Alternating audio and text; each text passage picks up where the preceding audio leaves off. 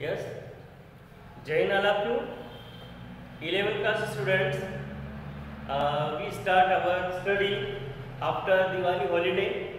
Uh, as you know, our chapter number 15 running in last day. Chapter number 15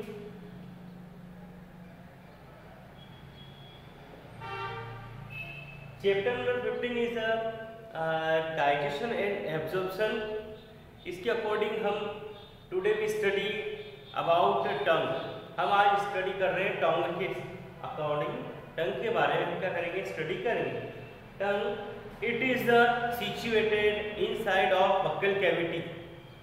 buccal cavity and tongue attest to the mandible and white bone हमारे जो jaw है buccal cavity buccal cavity की mandible bone और hyoid bone से attach होती है tongue tongue it is a muscular muscular and sensory structure so it is called musculo sensory structure इसे musculo sensory structure कहेंगे and it is a spongy structure which form formed by the muscles and it is also uh, sensitive sensitive sensitive uh, for the taste of the food ये taste food के taste के लिए sensitive होती है ठीक है तो इस मस्कुलर सेंसरी ऑर्गन है and lower side of the term situated salivary glands salivary glands which always keep the moisture to the tongue ये जो सलाइवा होता है वो मॉइस्चर क्या होता है टॉन्ग को पूरा हमेशा गीला बनाए रखता है ठीक है टंग की स्ट्रक्चर में हमें देखेंगे कि जो टंग है इसमें टेस्ट बर्ड्स क्या होते हैं प्रेजेंट होते हैं there are four type of taste taste bud taste bud होते हैं वो चार तरह के होते हैं जिनको हम कहते हैं वेलाइट वेलेट कितने होते हैं वी शेप के होते हैं ठीक है vallate it is a V shaped second form it is rounded ये राउंडेड होते हैं सर्कुलर होते हैं नेक्स्ट है फिली फॉर्म फिली फॉर्म जो होते हैं फिलामेंट्स के जैसे होते हैं फिर फोलिएट फोलिएट होते हैं लीफ लाइक स्ट्रक्चर होते हैं लीफ के जैसी स्ट्रक्चर होती है इस तरह से जो है डोंग में डोंग में क्या आती है कुछ दरारें दिखाई देती है इसे हम कहते हैं फरो फरो मीन्स दरार ठीक है ये जो फरो होती है ये वी शेप की होती है जो टोंग में रहती है ओके इसी तरह से एक जो दरार होती है यदि हम ध्यान देखें तो टोंग के बी से बीच जो है बिटवीन क्या होगा मिडिल साइड में टोंग फरो रहती है फिर there are four type of the taste taste papillae which accept four type taste क्या आते हैं चार तरह के टेस्ट पेपर लिए चार तरह के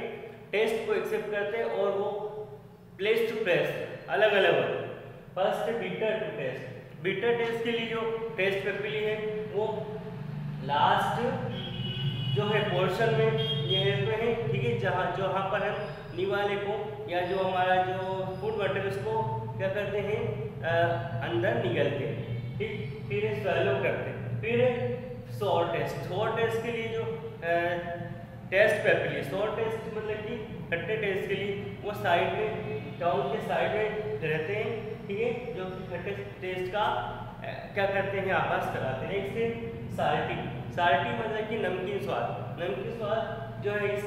इस वाले पोर्शन पर क्या होते हैं नमकीन स्वाद के लिए टेस्ट पेपर लिए प्रेजेंट रहते हैं और सबसे टी पर यहाँ पर जो स्वीट टेस्ट के लिए जो है टेस्ट पे प्रेजेंट होते हैं जो हमें टेस्ट का क्या करते हैं ज्ञान करवाते हैं ठीक है या एक्सेप्ट करने में हेल्प करते हैं इस प्रकार डाउन है डाउन के ऊपर क्या होती है एक मेम्ब्रेन होती है मेम्ब्रेन जड़ी होती है टाइम क्या होता है मेम्ब्रेन जो होती है वो डिस्ट्रॉय हो जाती है जब कभी हमें अल्सर या छाले हो जाते हैं तो ये मेम्ब्रेन डिस्ट्रॉय हो जाती है इससे कि हमें कोई टेस्ट नहीं आता ठीक है and taste last at last में हम क्या करेंगे फंक्शन लिखेंगे function of the tongue tongue के जो फंक्शन होते हैं वो क्या क्या होते हैं टंग के फंक्शन में सबसे पहले it is the helps in chewing of the food and swallow of the food ये फूड को चबाने में और निगलने में हेल्प करती है